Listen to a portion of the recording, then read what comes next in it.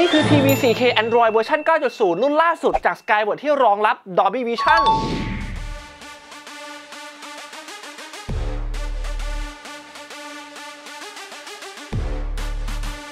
สวัสดีครับทุกท่านผมโรมัน LCD TV Thailand ครับ เมื่อต้นปี 2019 ที่ผ่านมาเนี่ย ผมก็ได้มีโอกาสทดสอบนี่ทีวี Skyworth นะครับ รุ่นท็อปเลย 4K OLED TV ไซส์ 55 นิ้ว ส่วนราคาของมันเนี่ยก็ถือว่า grand ตามตัวเลยนะทำให้คนทั่วไปเนี่ยอาจจะไม่ค่อยได้มีโอกาสสัมผัสทีวีตัวท็อปที่สุดของ Skyward ครับ มาในวันนี้นะครับ เขาได้ส่งทีวีตัวที่มันแมสลงมา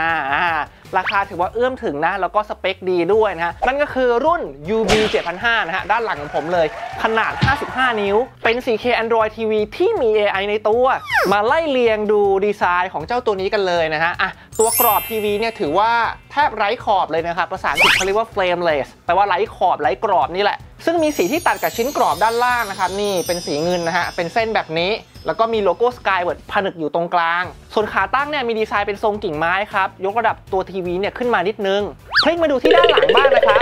นี่ครับกลุ่มของช่องต่อรวมอยู่ด้านข้างไว้ชุดเดียวเลย มี HDMI USB Optical out ช่องต่อดิจิตอลทีวี รวมถึงรองรับการเชื่อมต่ออินเทอร์เน็ตด้วยสายแลนและแบบ Wi-Fi ไร้สายครับ ส่วนนี้คือรีโมทคอนโทรลของ Skyward ครับ ดีไซน์ก็ถือว่าดูหรูหราดีนะ นี่ก็เป็นสีเงินตัดสลับกับสีดำแบบนี้ เนื่องจากตัวทีวีเนี่ยมันเป็น Android ถูกไหมฮะ นี่คือหน้าตาของ Android TV เวอร์ชันล่าสุดนะครับตัวรีโมทมันก็ออกแบบมา เพื่อให้เคียงคู่กันอะใช้งานด้วยกันได้อย่างลื่นไหลนะครับ นี่มาดูปุ่มลัดมีปุ่มอย่าง Netflix นะฮะนี่เข้าแอป Netflix ไวเลยคลิกเดียว YouTube แล้วก็รวมถึงปุ่มนี้ด้วยนะครับ ปุ่มจุดสีสี4จุดแบบนี้นะฮะเรียกว่า Google Assistant เป็นปุ่มนะฮะที่ทำให้เราสามารถสั่งงานด้วยเสียงได้ เดี๋ยวผมลองกดปุ่ม Netflix ให้ดูก่อนนี่ปึ้งนี่เข้ามาที่หน้าของ Netflix นะ อันนี้ก็คือเป็นหน้ารวมซีรีส์ของเขา ผมสมัครแพ็กเกจท็อปสุดเอาไว้นะครับ 420 บาทต่อเดือน ซึ่งจะได้ความละเอียดของหนังเนี่ย นะฮะแล้วก็ซีรีส์เนี่ยที่รองรับอยู่ที่ 4K HDR แต่ตัวทีวีเนี่ยมันมี Dolby Vision นะครับนี่ผมเข้าดูสักเรื่องหนึ่งอะ Stranger Things นะฮะที่ฮอตที่สุด เราจะสังเกตเห็นที่มุมนี้นะครับ จะมีโลโก้ที่เรียกว่า Dolby Vision อยู่อะเห็นไหมนี่คือตาสัญลักษณ์ของเขานะครับ ซึ่งปกติเนี่ยทีวีระดับราคานะหมื่นกว่าบาทแบบนี้เนี่ยมักจะให้ HDR แค่เป็นขั้นมาตรฐานอะเรียกว่า HDR 10แต่นี่ถือว่าใจป้ำนะให้ Dolby Vision มาเลย อีกจุดเด่นหนึ่งนะครับที่หน้าจอของรุ่นนี้เนี่ยมีการเคลือบแผ่นฟิลเตอร์นะฮะหรือว่าแผ่นที่กรองแสงสีน้ำเงินเนี่ยให้มันเบาบางลงครับเป็นอันรู้กันนะครับว่าแสงสีน้ำเงินเนี่ยมักจะทำให้การดูของเราเนี่ยไม่ค่อยสบายตานะครับถ้าเราดูเป็นเวลานาน แล้วก็ไอ้แผ่นฟิลเตอร์แบบนี้เนี่ยปกติเนี่ยมักจะสถิต อยู่กับจอมอนิเตอร์ระดับท็อปนะฮะหรือว่าพวกจอมือถือเกรด high-end เท่านั้นไอ้ตรงนี้ถือว่าดีนะฮะช่วยเราถนอมสายตาครับ ส่วนคุณภาพของภาพนะครับ ผมว่ามันก็ดีกว่า 4K TV รุ่นเริ่มต้นมาสักครึ่งขยักนะ เพราะว่าตัวแผงหน้าจอแล้วก็ตัวชิปประมวลผลมันเนี่ยก็คือไอ้ตัว 4K t o k i r a t Extreme นี่แหละนะฮะก็ช่วยอัปเกรดคุณภาพของภาพขึ้นมาได้ระดับหนึ่ง มันก็จะเนียนกว่าพวกรุ่นเริ่มต้นทั่วไปประมาณนึงครับ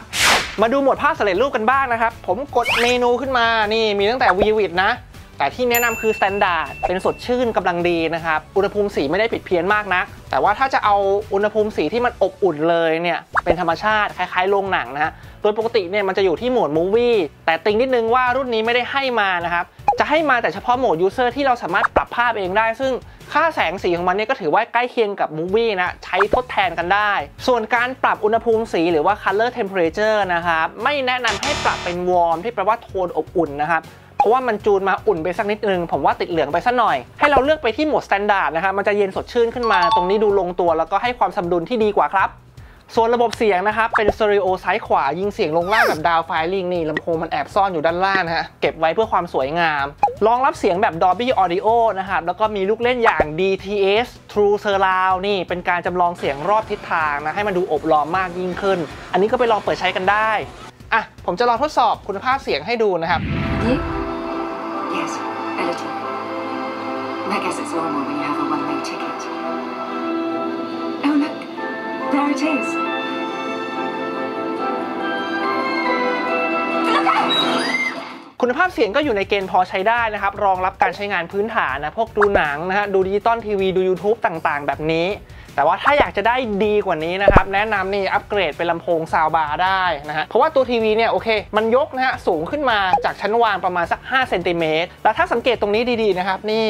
ตรงนี้ก็จะเป็นไฟบอกสถานะนะรวมถึงเป็นเซ็นเซอร์ของรีโมทด้วยนะครับแต่เนื่องจากตัวทีวีเนี่ยมันเชื่อมต่อตัวรีโมทคอนโทรลเนี่ยด้วยสัญญาณบลูทูธ ฉะนั้นถ้าเราเอาลำโพงไปวางบังมันเนี่ย อะผมลองเอามือปิดเซ็นเซอร์ให้ดูนะ อันนี้ปิดไว้ ปิดไว้แบบนี้ แต่มันก็ยังกดหน้า home แบบนี้นะฮะ ก็ยังกดได้ เพราะถือว่ามันเชื่อมต่อผ่านบลูทูธแล้วก็ไม่ต้องไปกลัวอะไรมันบังเซ็นเซอร์ครับ ระบบบริการ Smart TV นะครับ แน่นอนหน้าตาแบบนี้คือ Android นะฮะเวอร์ชันล่าสุดเลย 9.0 หน้าตาเนี่ยมันเหมือนกับ Android เวอร์ชันที่แล้ว 8.0 นะครับ เพียงแต่ว่าเวอร์ชันใหม่เนี่ยเขาเคลมว่า speed ในการเปิดบูตเครื่องเนี่ยรวมถึง speed ในการใช้งานแบบเนี้ยปึ้งปึ้งปึ้งปึ้งงแบบเนี้ยมันดูไวกว่าจุดเด่นของมันนะครับคือมี Google Play Store ตรงนี้นะฮะเราสามารถกดเข้าไป แล้วเลือกดาวน์โหลดแอปพลิเคชันที่เราต้องการได้นะ รวมถึง Line TV นี่ผม search แล้วลองกดดาวน์โหลดให้ดูนะครับอ้อ install ไว้แล้วนะฮะกด Open ได้เลย อันนี้ไวดี นี่ครับ มันก็จะมีซีรีส์นะ แล้วก็พวกละครรายการเกมโชว์ต่างๆเนี่ย โดยเฉพาะพวกเครือแกรมมี่เนี่ยมาเยอะนี่ One Night Steal นะครับแผนรักสลับดวง นี่ใครเนี่ยน้องปันปันน่ารักดีอะลองกดเข้าไปเล่นหน่อยสิหุ้นที่จีแนะนำไปเนี่ยวันเนี้ยยังทำกำไร 30 ล้านแน่นอนค่ะ เงินในบัญชีของพุทธอะ พร้อมจะลงทุนกับคุณจีทั้งหมดเลยครับ ไอ้นี่ขี้โม้นะ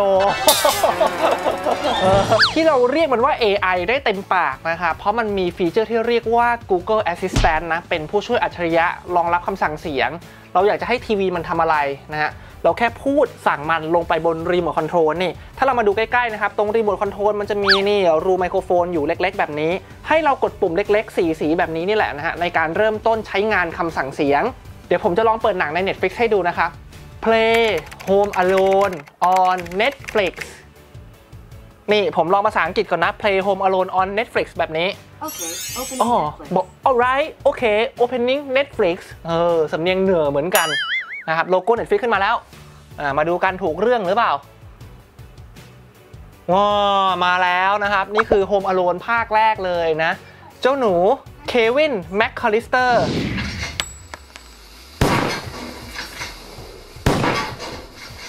จริงๆ search ภาษาไทยก็ได้นะครับ เปิดตัวอย่างหนัง Sonic the Hedgehog นี่นี่เห็นไหม เปิดตัวอย่างหนัง Sonic the Hedgehog โอ้ ถูกต้องด้วยนะฮะ ถือว่าแม่นยำใช้ได้ เราจะเลือกดูตัวอย่างที่เขาแก้ CG แล้วนะ ตาของ Sonic เนี่ยกลับมาสวยน่ารักแล้ว ส่วนไอตัวเนี่ยเนี่ยโอ้โหตาอุบาทมากนะ เราเลยดูอันแรกเลยดีกว่า This is my power, That was an illegal left, by the way. and I'm using it to protect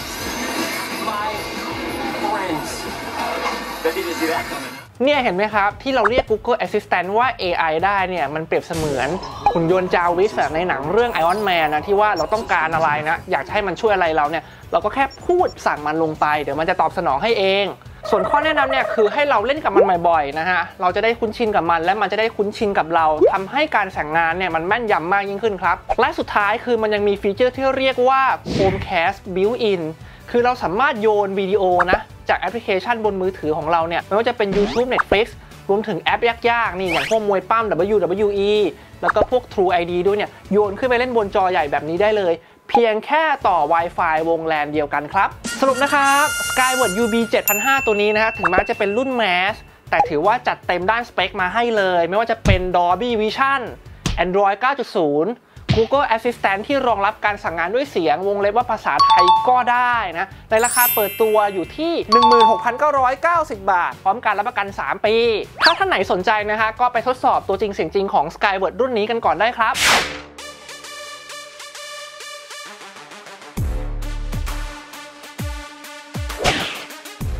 อย่าลืมกดไลค์ กด Subscribe และกดกระดิ่งแจ้งเตือนด้วยนะครับ